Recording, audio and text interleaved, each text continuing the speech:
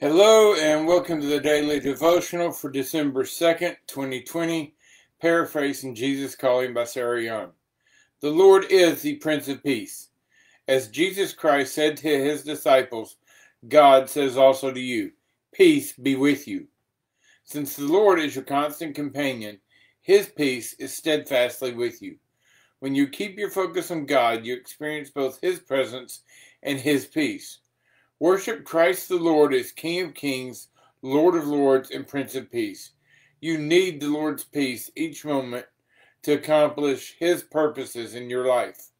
Sometimes you're tempted to take shortcuts in order to reach your goal as quickly as possible.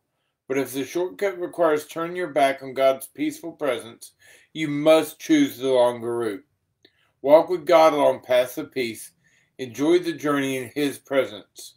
Scripture for to us a child is born, to us a son is given, and the government will be on his shoulders, and he will be called Wonderful Counselor, Mighty God, Everlasting Father, Prince of Peace. Isaiah chapter 9, verse 6. On the evening of that first day of the week, when the disciples were together with the doors locked for fear of the Jews, Jesus came and stood among them and said, Peace be with you. After he said this, he showed them his hands and side. The disciples were overjoyed when they saw the Lord. Again, Jesus said, Peace be with you. As the Father has sent me, I am sending you. John chapter 20, verses 19 through 21. Show me your ways, O Lord. Teach me your paths. Psalm 25, verse 4. Prayer.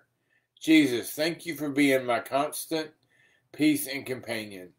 I need your peace each moment to accomplish what you've put me on this earth to do. Above all else, help me to love you and love others well today, to put relationships over my to do list. In Jesus' name, amen. And I hope everyone has a happy, healthy, and blessed day. God bless, and we'll talk to you tomorrow. Bye, folks.